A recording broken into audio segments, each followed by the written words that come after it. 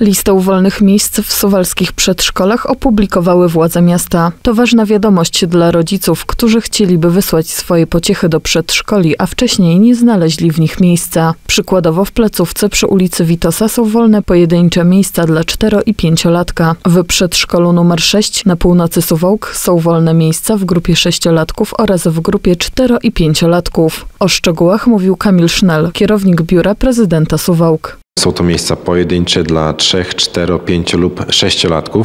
Zachęcałbym rodziców, e, którzy byliby potencjalnie zainteresowani tym, by ich dziecko e, trafiło do przedszkola już teraz w tym momencie, by zainteresowali się e, tą listą i tym wykazem wolnych miejsc.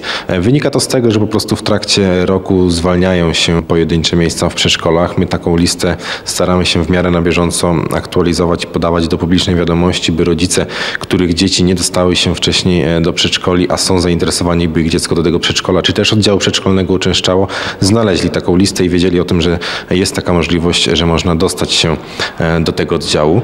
E, dlatego też zachęcam, tym bardziej zachęcam, że od 1 stycznia suwalskie przedszkola są za darmo dla wszystkich e, rodziców i dzieci, którzy mieszkają w mieście Suwałki. Pełna lista wolnych miejsc na radio5.pl i stronie ratusza.